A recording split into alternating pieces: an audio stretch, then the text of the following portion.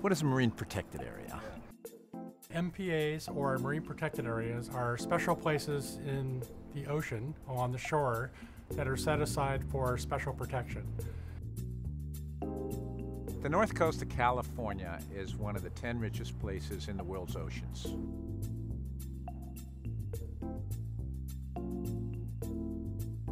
The North Coast has six state marine reserves and 13 state marine conservation areas, uh, as well as one specially designated area in Humboldt Bay where you can uh, hunt waterfowl.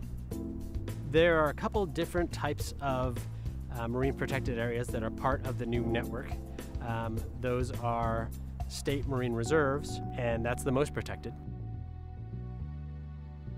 The rules are leave it alone, so you can go there, you can enjoy it, um, you can surf, snorkel, dive, do whatever you want, but anything that's there, you, you leave it as it is.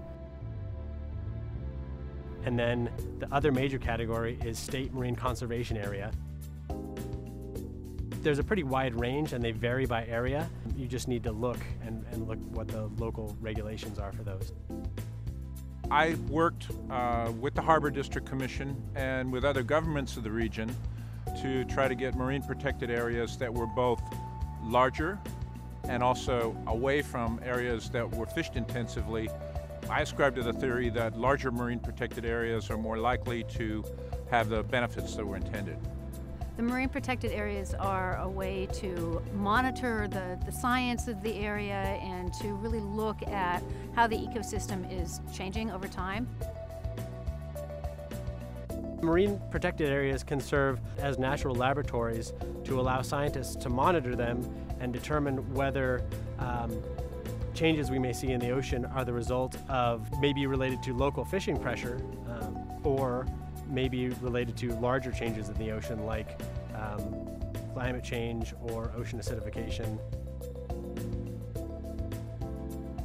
We're hoping to see eventually more fish, a, a greater diversity of species, and larger fish.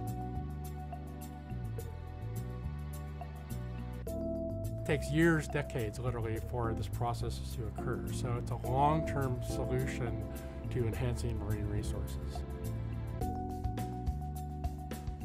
And you know, many people have been making their living off the, the ocean, um, the fish, for so many years, and people can't do that anymore. So I think it's really important that we can look at how do we protect them, how do we conserve, how do we manage so that people can indeed make a living again.